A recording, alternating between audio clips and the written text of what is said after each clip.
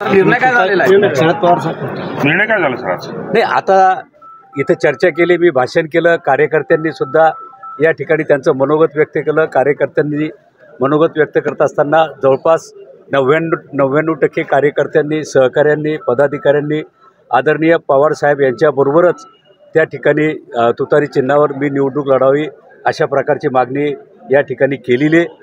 मी त्यांना एवढंच सांगितलेलं आहे की मी फक्त सिंदखेडराजा विधानसभा मतदारसंघापुरता नाही तर मला जिल्ह्यातल्या सुद्धा सर्व सहकाऱ्यांशी कार्यकर्त्यांशी मी उद्या फिरणार आहे जिल्ह्यामध्ये जाणार आहे.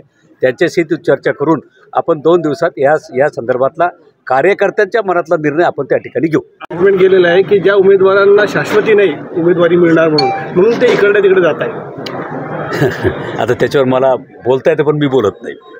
पवार साहेबांची भेट झाली का? माझी अलीकडच्या काळात पवारसाहेबांची भेट झाली. जयंतराव पाटलांची मात्र भेट झाली.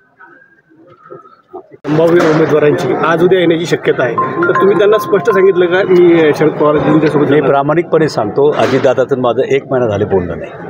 प्रामाणिकपणे मी तुम्हाला सांगतो की दादाचं माझं एक महिना झाले या विषयावर बोलणं नाही चर्चा नाही काहीच नाही. त्यामुळे आता दादांच्या यादीत कोण आहे काय याची कल्पना मला त्या ठिकाणी नाही.